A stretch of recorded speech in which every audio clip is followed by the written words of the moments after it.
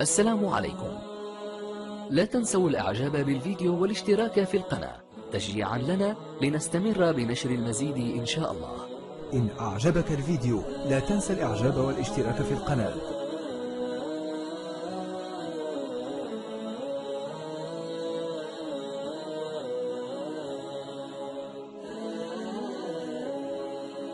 السلام عليكم. لا تنسوا الإعجاب بالفيديو والاشتراك في القناة. تشجيعا لنا لنستمر بنشر المزيد إن شاء الله. السلام عليكم ورحمة الله وبركاته. السلام ورحمة الله تعالى وبركاته دكتور. حياك الله لاله سعدية كي داير ناس صحيحة لاباس عليك الله يطول عمرك لاله. بارك الله فيك.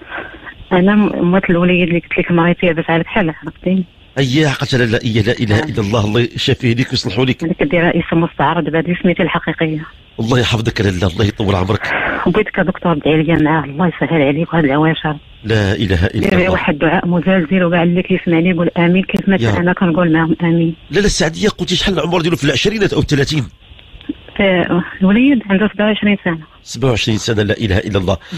واش كيقرأ؟ وعنده العكس وعنده العين لا حاجة إله. اللي كيدفع عليها ما كتيسر ليه. لا حول ولا شيء. إلا بالله والأصدقاء ديالو لاله السعدية آه، مع من كيتصاحب مع من كيمشي واش شي شباب البلية البلية دكتور لا. معاه يعفو عليه سيدي ربي من البلية يا رب، البليه يا رب. خرجت عليه يا ربي يا كريم لا إله البلية الله دمرت له حياته وهو ملي كان صغير كان فيه أم الصبيان وما عرفت واش أم الصبيان اللي داخل هكاك ولا ما نعرف لا إله إلا الله لا حول ولا قوة إلا بالله.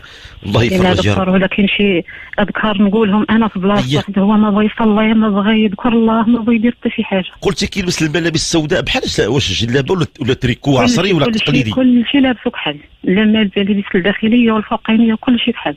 لا إله إلا الله. لبس شي حاجة بيضاء والحاجة البيضاء ما تيحملهاش. هذا علامة على أنه ممسوس. لا إله إلا الله. الله يشافيه آه، الله يشافيه. الله يخلي لك وليداتك يا ويخلي ربي. لك مولا في الدار يا ربي يا لاله وكاع اللي كيسمعني يقول آمين. كيف ما أنا كنقول معاهم آمين يقولوا معايا آمين. اللهم آمين لاله سعدية. الله يطول عمرك لاله الله يطول عمرك. لا حول ولا قوة إلا بالله.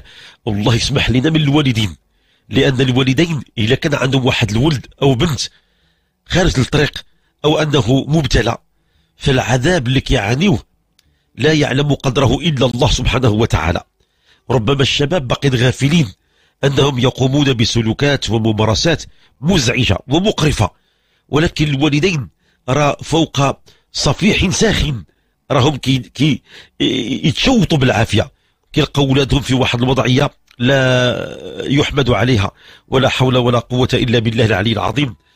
لاله السعدية بالإمكان أن الولد إذا كان مصاب بما يسمى بأم الصبيان في الطفولة معلوم أن أم الصبيان هذه روح خبيثة تصيب الأطفال الصغار.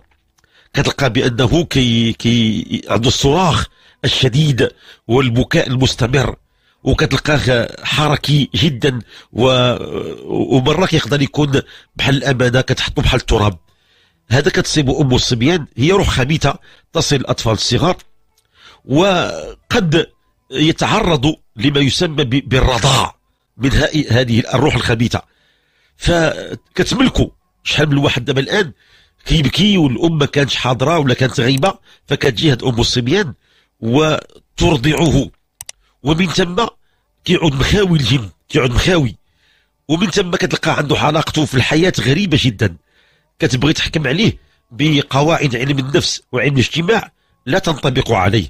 هو في واحد الوضع واحد العالم خاص به عالم غريب جدا. ولا سولتيه. كتلقاه كي كيشوف ملامات غريبة وكتجي خيالات وكتجي خواطر وربما يسمع هواتف في أذنه. كلام يأتيه من خارج المحيط ديالو. لا نستطيع أن نحكم على هؤلاء الأولاد بأنهم منحرفين. نرجح أنهم مرضى ويحتاجون إلى العلاج. ليس عاديا أن يكون الشاب في هذا السن يلبس كل الملابس سوداء حتى الداخلية سوداء. دليل على أنه متلبس. وهناك ما يسمى بعبدة الشيطان المعروفين بأنهم يعشقون السواد. ومنهم من يعشق اللون الأحمر. ولا حول ولا قوة إلا بالله. لا أريد أن أدخل في التفصيل في هذه القضايا الغريبة. ولكن ما هو العلاج؟ الأم يظهر أنها تعبت. واستعملت جميع الوسائل المتاحة بين يديها لرد هذا الولد ردا جميلا مشى مع الأصدقاء حتى ذاك البلية مع أصحابه راه هو لا يقصد البلية هو بغى غير ينسي هو. لا. لا يعشق أنه التدخين أو المخدرات كتلقى الشاب في هذه الوضعية بغى ينسي بغى بغى. يرقد الدماغ ديالو حتى عنده ما يسمى بالتفكير الغير منقطع هؤلاء الشباب في الغالب يصابون بحالة نفسية كتسمى التفكير الغير المنقطع الأفكار تتوارد عليه باستمرار بحال الأمواج المتلاطمة ولا يجد لها تفسيرا. فيضطر إلى أخذ بعض المخدرات أو المسكرات أو المفترات لاش غير باش ينسي. لا حول ولا قوة إلا بالله. وشكون اللي غادي يقدر يعالجه طبعا العلاج النفسي مكلف. وحتى المؤسسات ديال الرعاية النفسية محدودة جدا في بلادنا. وعدد كبير ديال الأمهات كيعانيوا نفس المشكل. كيقول لك أنا ولدي بغيت غير الدولة تشدو وندي عندها. ولكن في هي الدولة اللي غتشدو؟ خاصو يمشيو ندوه لدور دور الرعاية النفسية. خاصو تقرير طبي. وخاصو آه، الموافقة بالنوم. وخاصو واحد التكاليف مادية يوميا. ديال الإقامة وديال الأكل وديال ومدة طويلة. وهذا كله مكلف للغاية. لا حول ولا قوة إلا بالله. كيبقى الحل السهل الذي نلجأ إليه. كلنا لما نشعر بالضعف ونغلب ونقهر الحياة أحيانا تغلب صاحبها. الحياة كتحدث. كيكون الإنسان أنا أنا وكتجي واحد الظروف معينة كتخلي الإنسان أنه كيشعر بالضعف ديالو. كنقولوا اللهم ارحم ضعفنا اللهم ارحم ضعفنا من طرق العلاج في هذه المشاكل اللي هي تبدو مستعصية أننا نلجأ إلى من؟ إلى الصانع. نلجأ إلى مالك الملك. نلجأ إلى من بيده الأمر من قبل ومن بعد. الذي لا يعجزه شيء في الأرض ولا في السماء. نلجأ إلى ربنا سبحانه وتعالى ونتضرع إليه. أن يرحم ضعفنا وأن يشفي مرضانا وأن يفرج عنا همنا. فالسادة المستمعين الله يجزيكم بخير. هذه الأم السعدية من أسفي تلتمس فيكم الخير أن تدعوا لها وتؤمنوا على دعائها. وماشي غير هي راه الآن دابا كيسمعوا فينا ربما العشرات أو المئات ديال الأمهات وقع لهم مشاكل مثل هذه وربما أغرب.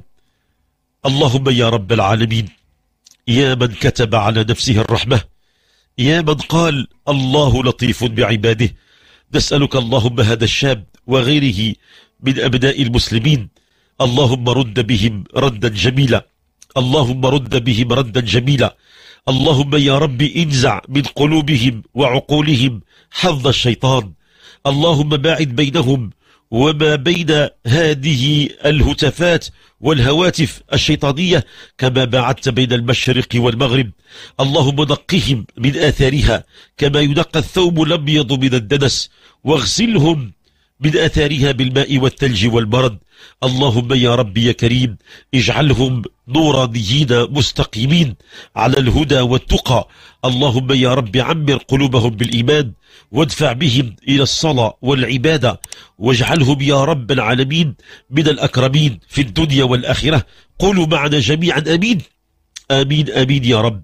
لنا سعيدة أحسن طريقة ممكن تستعملها الأم هي أنها تستيقظ في جوف الليل والناس نيام وتدق الباب تدق أبواب الرجاء تقول يا رب هذا حالي بين يديك لا يخفى عليك وهذا عطاؤك عطاؤك عذبني هذا الولد اللهم يا رب يا كريم اهده وخذ بيده وإن شاء الله سوف ترين رحمة الله الواسعة الله تعالى يحب أن يدعى يحب أن يطرق ماله في جوف الليل يحب من, من يدعوه ويدرف الدموع بين يديه وإن شاء الله تعالى سترين ما يسر قلبك في القريب العاجل.